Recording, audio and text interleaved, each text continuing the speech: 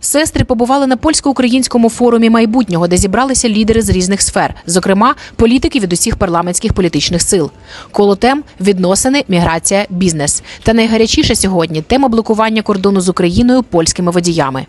тому що такого просто в Європі бути не може. Е, в мене питання: чому е, польська влада бездіє? Днями видання Гілдхол, яке пов'язують зі службою зовнішньої розвитки України, опублікувало матеріал про те, що блокування справа рук російських спецслужб. Я особисто, коли задаю просте питання, хто від цього виграє, а хто програє.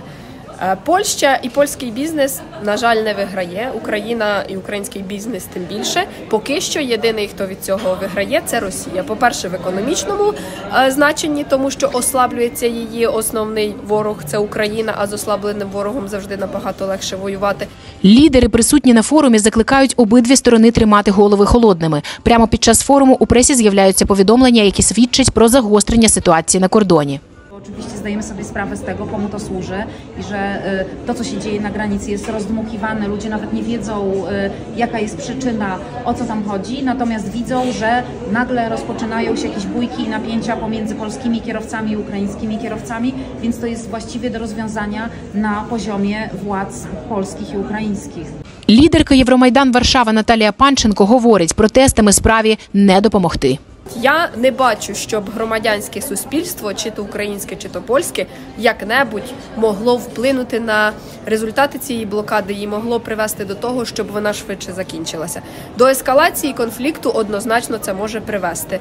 До якихось незапланованих наслідків це однозначно може привести просто тому, що ситуація дуже накалена. І я повторюю з обох сторін кордону. Найважливіше не пропустити момент, коли ситуація стане неконтрольованою. Рішення терміново повинні шукати разом Україна, ЄС та Польща, яка на жаль наразі зайнята внутрішньополітичними проблемами транзиту влади.